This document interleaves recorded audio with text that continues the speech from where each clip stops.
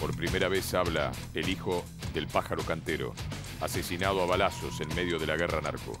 Telefe Noticias recorrió el barrio La Granada de Rosario, tierra de búnker, soldaditos y muerte, allí donde los crímenes son cosa de todos los días, allí donde la vida parece no valer nada. Ludmila, luego del alivio a la investigación. Está detenido el hombre que estuvo una semana con la adolescente de 15 años.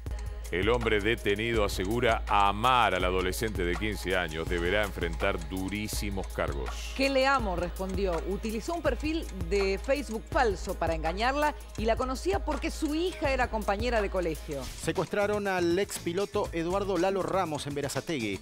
Lo interceptaron falsos policías bonaerenses cuando iba con un amigo en un auto de alta gama por la autovía 2. Los captores tenían un auto con una sirena azul.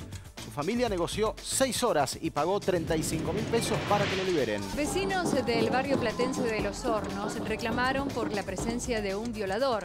Cortaron la calle y quemaron neumáticos para denunciar al autor de al menos dos ataques sexuales. Protestaron dos días consecutivos y se enfrentaron con la policía de la zona a la que denuncian por su presunta pasividad.